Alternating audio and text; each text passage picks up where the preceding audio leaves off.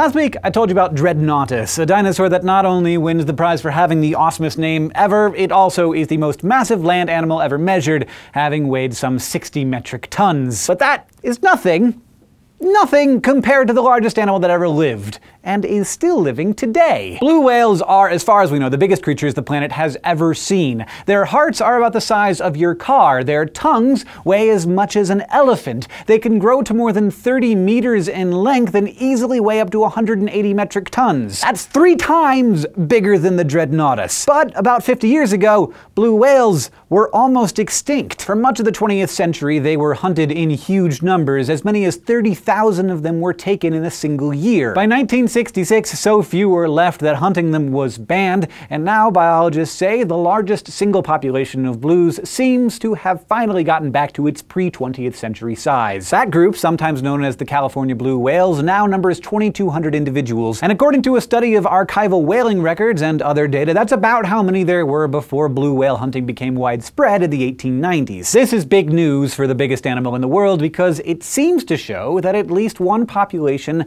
has gotten its numbers back to pre-hunting levels. Unfortunately, the same cannot be said for the rest of the species. Back in the early 1900s, there were probably between 200,000 and 300,000 blue whales in the world. Today, there are somewhere between 8,000 and 20,000. Considering that they're the biggest creatures ever, counting blue whales is surprisingly hard. So, biologists say the new study doesn't mean that whales are out of danger. Far from it. Blue whales lag behind other protected species like humpbacks, which are recovering faster, and all whales face new threats threats like warming oceans and getting hit by ships, thought to be a major cause of whale deaths these days. So let's hope that their enormous size is the only thing that blue whales and dinosaurs end up having in common. Now, it's not exactly news that we use our phones and the social media on them to dish on other people. The things are basically designed to transmit and receive gossip. But now, a new study has used smartphones to track human morality. And it's not as creepy as it sounds.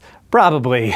It is being billed as the first real-time, real-world study of moral and immoral behavior. German and American psychologists invented an app that's basically part alarm clock and part confession booth, and they gave it to 1,200 adults in the US and Canada. Five times a day, for three days, the app sent an alert to the subjects and asked them to stop and report what they and others around them were up to. The subjects were asked to describe whether they had committed, saw, or simply heard about either immoral or immoral act within the last hour, and they got to decide for themselves what moral and immoral meant. The psychologists say that the results corroborate a bunch of theories about how human morality works. We've just never been able to document them in the wild, as it were. First of all, based on the subject's own reporting, people were twice as likely to learn about immoral acts from other people than moral ones. This seems to support the idea that gossip is important, a kind of social glue. By dishing on other people, we strengthen our ties to the people we're dishing with, and in the process, we feel better about ourselves. Psychologists have actually likened people gossiping to apes grooming each other. Also interesting, people who said that they performed a moral act earlier in the day were more likely to admit doing something immoral later that same day. Now, whether that involved searching for hacked celebrity photos or aggressively cuddling a non-compliant kitten,